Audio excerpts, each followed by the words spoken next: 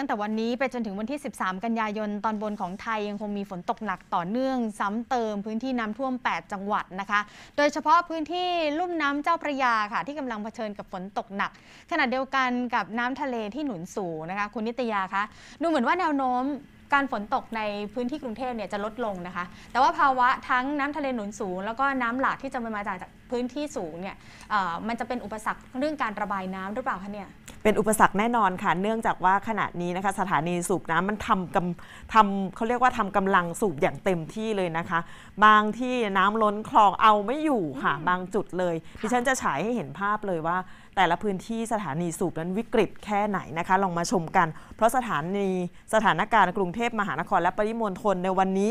ฝนนะคะไม่ได้ตกแช่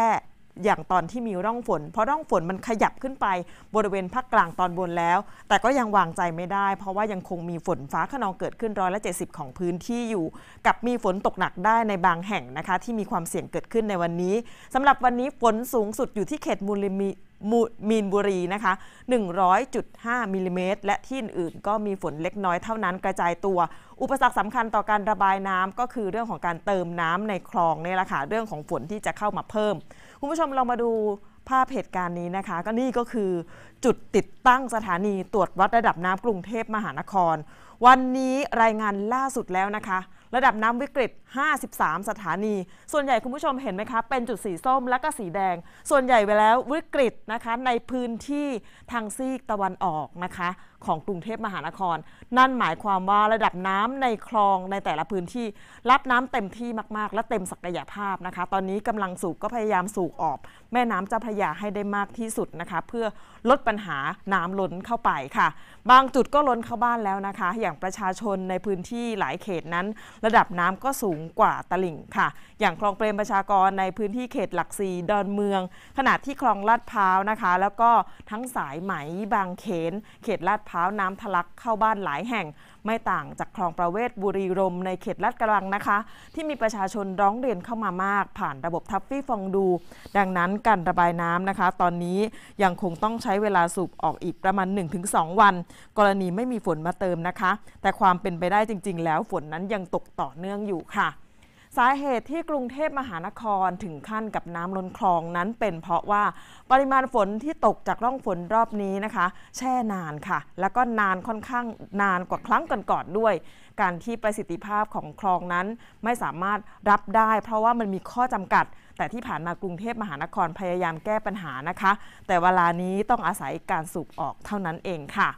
สำหรับ วันนี้กรุงเทพมหานครและปริมณฑลอาจจะต้องเจอศึกสามน้ำอยู่ กับเรื่องของน้ำทะเลหนุนสูง ไปจนถึงวันที่ 12 กันยายนนี้ ส่วนน้ำหลากที่ไหลมาจากเขื่อนเจ้าพระยาวันนี้ไหลมารวมกันที่พื้นที่ตอนล่างนะคะ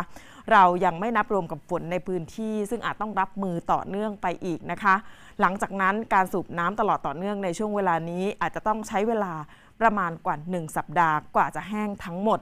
ส่วนจังหวัดที่ยังเผชิญกับปัญหาอุทกภัยที่เกิดขึ้นนะคะ ก็มีหลายจังหวัดที่เพิ่มเข้ามาเหมือนกัน ไล่เรียงกันมาได้ก็คือที่ลำปางนครสวรรค์ขอนแก่นร้อยเอ็ดนะคะ รวมถึงมหาสารคามยโสธรอุบลราชธานีลบบุรี อุทัยธานี พระนครศรีอยุธยา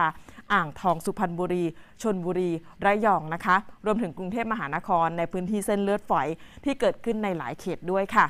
ระหว่างที่เราระบายน้ำวันนี้อาจจะต้องเตรียมพร้อมรับมือกับฝนอีกนะคะ เพราะว่าในช่วงของวันที่ 14 และ 15 กันยายนนี้ ร่องมรสุมที่พาดผ่านภาคเหนือ และภาคตะวันออกเฉียงเหนือ จะมีกำลังแรงขึ้นค่ะ ประกอบกับช่วงนี้จะมีมรสุมตะวันตกเฉียงใต้ที่พัดปกคลุมทะเลอันดามันอ่าวไทย แล้วก็จะมีกำลังแรงขึ้นนะคะทำให้ประเทศไทยนั้น จะมีฝนตกหนักเพิ่มมากขึ้น กรุงเทพมหานครตอนนี้เราศักยภาพคลองเรารับไม่ค่อยจะไหว ราะว่าคลองเรา